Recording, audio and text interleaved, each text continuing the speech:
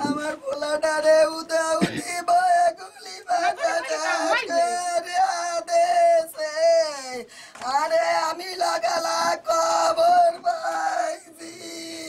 গুলি দেশে বার লাগে কইছে রাসাইল গুলি গাইছে ও কাকি, আমি কই কোথায় গুলি গাইছে কয় হাতে আমি কই বাবা হাতে গুলি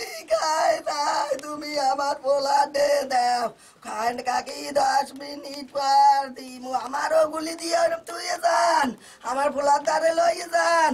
আরে আমারে ঘাট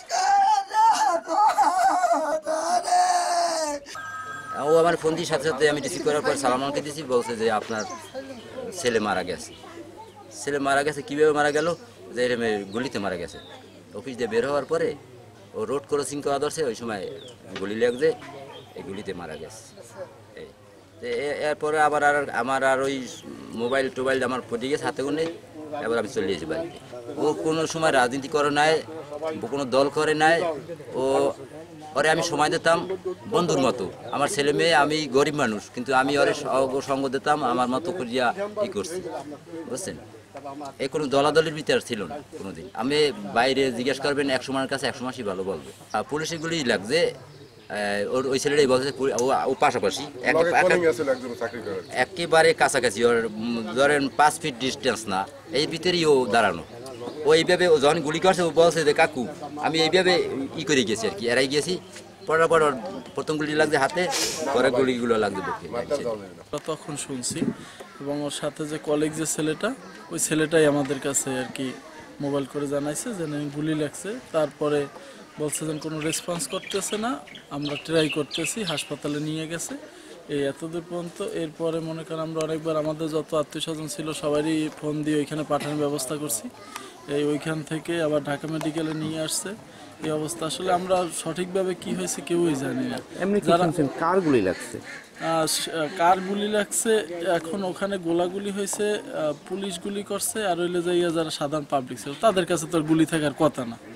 গুলি কার লাগছে এটা তো আমরা কীভাবে বলব? কে গুলি করছে? স্পটে যারা ছিল তারাই ভালো বলতে পারবে। ওইখানে যারা আপনার ইসে ছিল ছেলেটা কি করতে? ও তো ইসে ডিজাইন এক্সপ্রেসে এনার্জি প্যাকে ইলেকট্রিক্যাল মেনটেন্যান্স স্টাফ হিসেবে ছিল মেনটেন্যান্স ইনচার্জ ছিল। এই তো পোশাক কারখানায় কোনো মেশিন চালাইতো না বা কিছু না ইলেকট্রিক্যাল সাইড দেখাশোনার দায়িত্ব ছিল। ভালো অবস্থানে ছিল একটা মানে গরিব ফ্যামিলির একটা ছেলে ভালো অবস্থায় গেছে। এই অবস্থান থেকে একেবারে জিরোতে চলে আসছে। এছাড়া আর বলার মতো কোনো ভাষা নাই যে এই ফ্যামিলিটা এখন কীভাবে ব্যাক করবে বা কীভাবে তারা কাবার করে সামনের দিকে আগাবে। একমাত্র আল্লাহ পাকি ভালো জানে। যদি এখন যারা আছে, এটা সুষ্ঠু তদন্ত এবং সুষ্ঠু বিচারের দাবিতে আমরা সবাই এবং এলাকাবাসী সবাই চায় যেন এই ছেলেটা আসলে খুবই ভালো ছেলে ছিল, সবাই জানে। এই- এই ব্যাপারে আসলে আর কি বলব?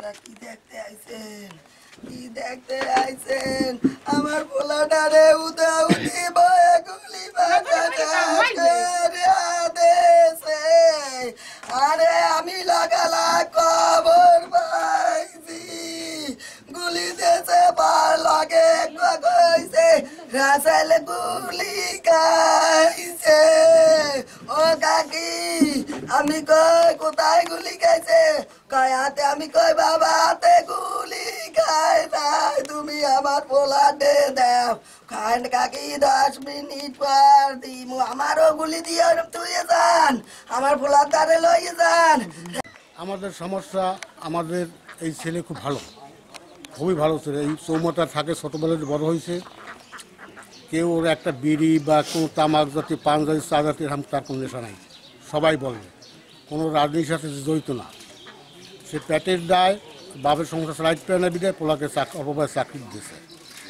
এখন আমরা এই সংসার বিনেশ হয়ে যাবে সোজা কথা। বাপের তো বয়স হয়ে গেছে। বোন একটা, ছোটো ভাই একটা, হেরা পরে ইন্টারে। এখন আমরা সবাই বসে রয়েছি লাশের অপেক্ষায় কিরাম মারা গেছে, কিরাম কি হয়েছে, এটা তো ওইখানে লোকই ভালো জানে। কিন্তু আমরা দেখি না। আমরা বিভিন্ন লোকের কাছে বিভিন্ন কথা শুনি।